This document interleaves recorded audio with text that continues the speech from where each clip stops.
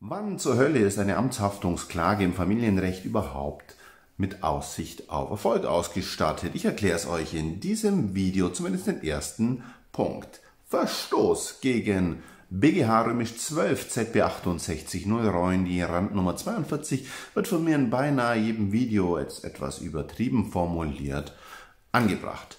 Dies sagt aus, wenn ein Gutachten auf ungeklärten Anknüpfungstatsachen oder sogar auf falschen Anknüpfungstatsachen basiert, dann ist es in der Regel unverwertbar. Klagen gegen einen Gutachter haben damit also äußerste Aussicht auf Erfolg, wenn hier falsche und ungeklärte Anknüpfungstatsachen verwendet wurden, weil das hier eben nicht unter den Schutz fallen würde, den ein Richter hat bei der Ausübung seiner ähm, Dienstgeschäfte. Der Richter muss ja Beweise bewerten und sich entscheiden.